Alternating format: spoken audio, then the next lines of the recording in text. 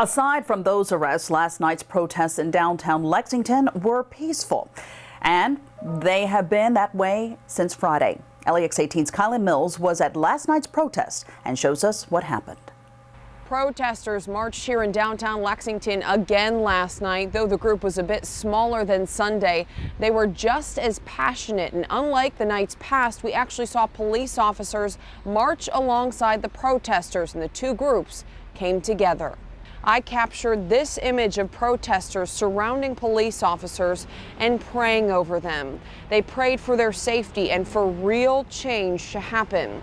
This after police officers marched alongside protesters and then actually kneeled with them in the middle of the street.